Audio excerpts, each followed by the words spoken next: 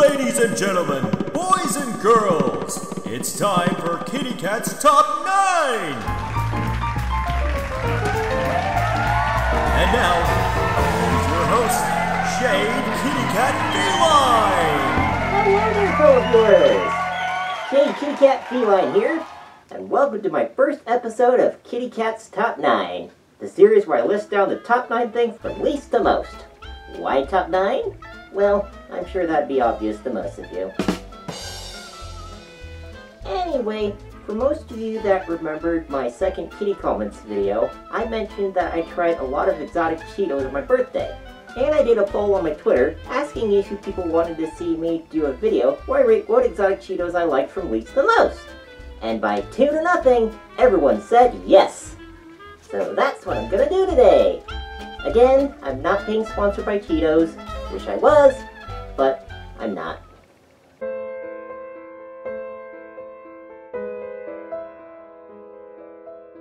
Anyway, on with the countdown.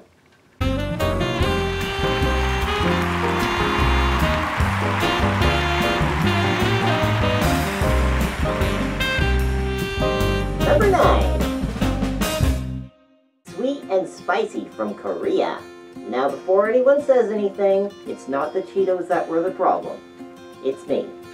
As I mentioned before in my last Kitty Comments video, spicy foods and I do not mix.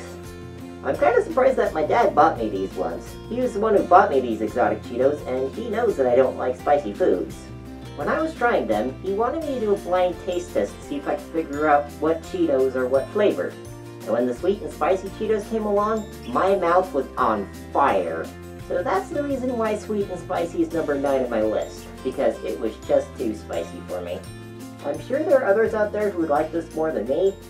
I'm just not one of them. Sorry, Korea. Number 8. Ocean from Thailand. So this one is another spicy one that I tried. Again, it's not the Cheetos that were the problem, it's me. But the reason Ocean Cheetos are number 8 on my list is because it's not as spicy as Sweet and Spicy. I mean, it's still too spicy for my taste, it's just not extremely spicy. Then again, when I did the blind taste test, I tried these ones after I tried the Sweet and Spicy Cheetos. So maybe the space from the Sweet and Spicy was still in my taste buds when I tried the Ocean Cheetos. When I told my dad about that though, he confirmed that Ocean Cheetos are indeed spicy. Again, I'm sure there are people out there who would like these Cheetos, but for me, they are just too spicy for me. Although that's the case, I do like the design of the blue bag and the fun fish shapes. Number 7. Peanut butter from Israel. Have you ever wondered what crunchy Cheetos would taste like without the cheese? If the answer is yes, then these peanut butter Cheetos will help you out with that query. I mean, when you think of peanut butter Cheetos, you think of the type of peanut butter that you put on bread, right? But that's not the case with these peanut butter Cheetos. Because these Cheetos have absolutely no taste to them. They're basically like Cheetos without the chi. They're toes. You can't really taste the peanut butter in these Cheetos. I mean, in some rare instances, you do get a bit of a peanut aftertaste, but these just taste like flavorless Cheetos. I wouldn't say it's the worst thing I've tried, but it definitely wasn't what I was expecting. On the bright side, I bet I know one video game character who would happily sponsor these. Peanut butter! Number 6. Cheese and bacon from Australia. To be fair, my dad didn't get me these ones on my birthday. I wish he did though because of the movie we were watching that day, Combat Wombat. It's a movie from Australia that, to my knowledge, hasn't gotten an American release. And probably wouldn't. Personally though, I thought it was okay. But we're not here to talk about Combat Wombat. We're here to talk about cheese and bacon Cheetos. I just felt that not having Australian Cheetos for an Australian movie was a missed opportunity. But after trying a bag, I'm kind of glad that my dad didn't get me these ones. Don't get me wrong, they weren't terrible. It's just I could hardly taste the bacon in these Cheetos. They taste kind of like those Planters cheese balls with a tiny hint of bacon. Overall, I don't think I'll miss these. But let's ask my guest from Australia what he thinks of these. Hey Blazie, what do you think of cheese and bacon Cheetos? Well, for starters, it never crossed my mind that these are cheese and bacon all flavored. It never crossed my mind that the bacon part of it. Like, it was always just a name, cheese and bacon balls. It has like a nice, nice name to it. It has a nice little wing that just rolls off the tongue. Because yeah, they're just like little, little cheese balls. That's, that's all they are. It's just little cheese balls. These are all we had in Australia for a very long time.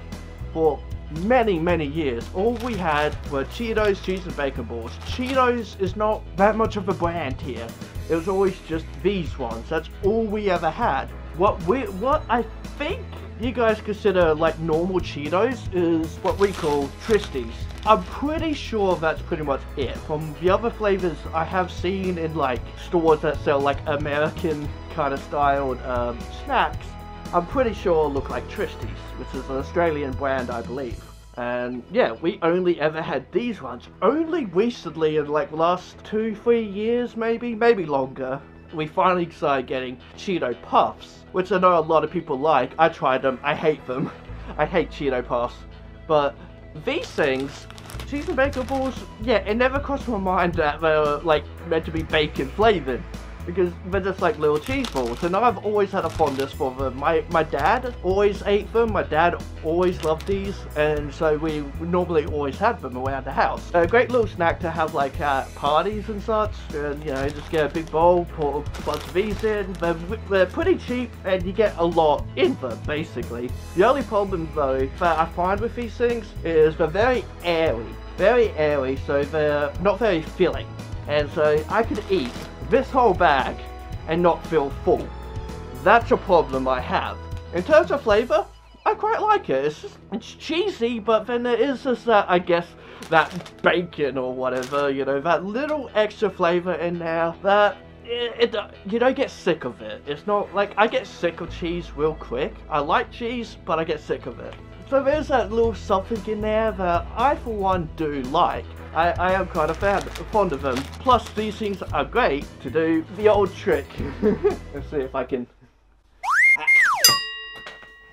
Nowhere close. these are old classic of doing this little thing. I had no idea where that went. In conclusion, I would probably rate these a good 8 out of 10, in my opinion. They they would be a 9, 9, maybe even a 10 out of 10 for me. I always like these things, I always have. They would be if they were more filling, but they're not very filling. That is a huge problem I have with these things. So I don't get them very often because obviously if you want a snack, you want like something that you, you know, can make you feel full, you know, so you don't keep on snacking. But you won't feel full on these. I, I like them, they're a nice little, nice little snack. I'm gonna happily enjoy these. so yeah, back to you, buddy. Number five. Gentlemen, behold! Corn! Yes, corn flavored Cheetos from Turkey. I've expected a lot of weird flavors to come in, but never would I have expected a corn-based snack like Cheetos to have a corn flavor. What makes these even more bizarre to me is the shape of them. I mean, besides the exotic Cheetos I'll be covering today, you would expect most Cheetos to come in a stick shape, a ball shape, or a fun shape like a pop. But these ones are in the shape of a little small pellet, like the type of pellets you'd see in dry pet food. How do they taste though? Honestly, they were okay. It tasted kind of sweet for Cheetos, kind of like cereal. In fact, I bet that if I put this in a cereal bowl for someone without telling them what it is, they'll mistake it for cereal. On the plus side though, it's earned my dad's approval. Number 4. Cheese and ham toast from Poland. Now these ones were quite interesting. When my dad popped this in my mouth for the blind taste test, I could actually taste cheese and ham in these Cheetos. And this wasn't the type of cheese you'd try from regular Cheetos either. This was a completely different cheese. Not sure what kind of cheese exactly, but I will say that these cheese and ham toast Cheetos were delicious, and I wish we had these here in America. I'd buy more, but unfortunately the website that sold these exotic Cheetos no longer has these in stock.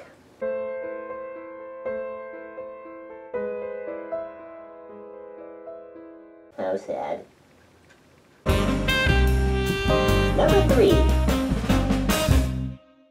BBQ from Japan. When you think of barbecue flavored Cheetos, you probably think of the type of barbecue flavored chips that we have here. In fact, that's what I was expecting when I first saw these on the internet. But surprisingly, they taste completely different. I mean, with the barbecue flavored chips that we have here, they taste kind of like barbecue sauce.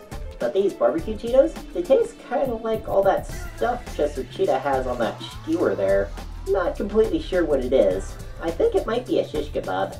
If anyone from Japan knows what it is, let me know in the comments below, because I'm pretty curious about that.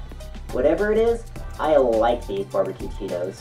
I feel that this would make a good side snack for lunch, especially with a Super Mario sandwich from Ike's Lair. Again, not being sponsored by Ike's Lair. Wish I was, though.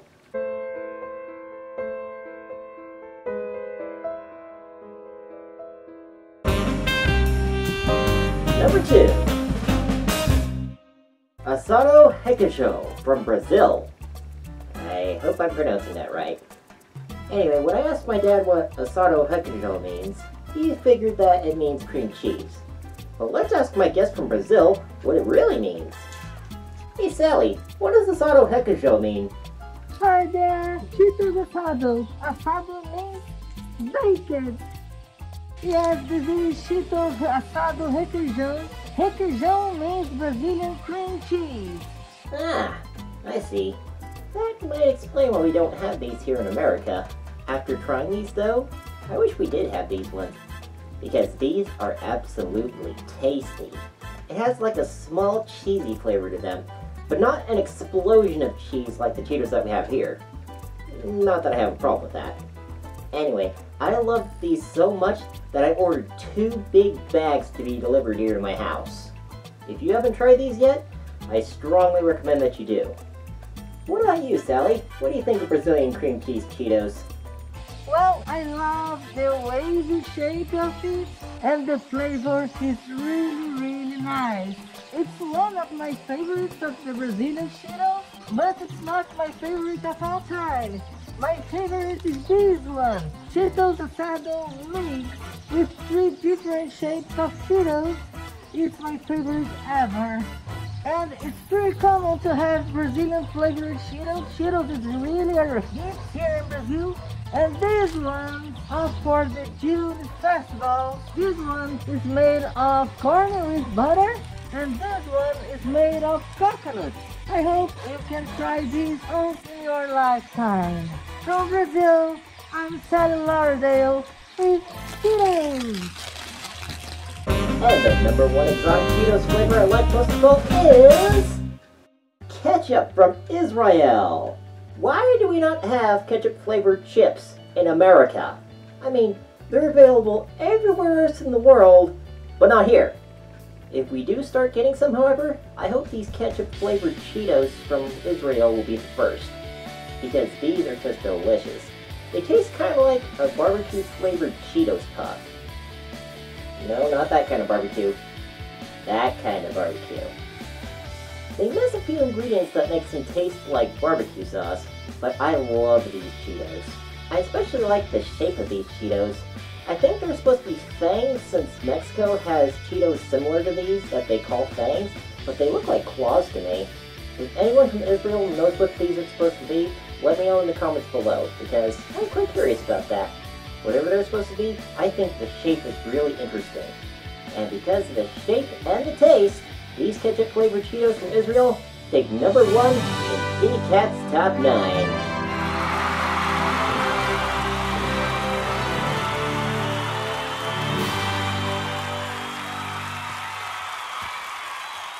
In all honesty though, it was kind of hard for me to decide where to put the top four Cheetos in my list, because I really like those flavors and I would strongly recommend that you try those if you haven't yet. For any viewers from Brazil, Israel, Japan, or Poland that are watching this, congratulations on having these delicious flavors available in your country. If Frito-Lay would let me pick four exotic Cheeto flavors to release here in the States, it would definitely be those ones.